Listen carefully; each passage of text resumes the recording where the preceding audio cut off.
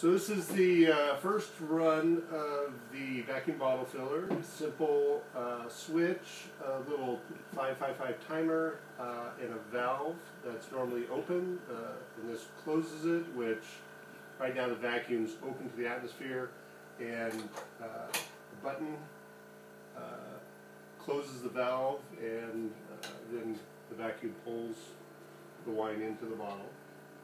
What's nice is it'll run, you don't have to fool with it, you don't have to mess with it. It goes into the overflow bottle. It draws back down to the level of the fill uh, nozzle. And just a click of the button, uh, you don't have to watch it, you don't have to tend on it, so it allows you to do other things while uh, the bottle's filling. Uh, fill time's about 15 seconds.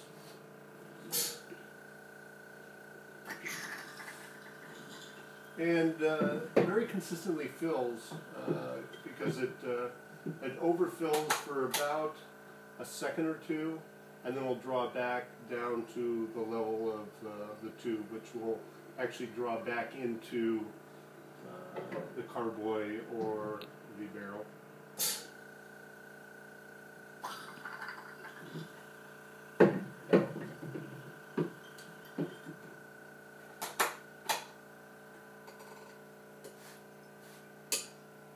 So again, the very consistent fill, really happy with it.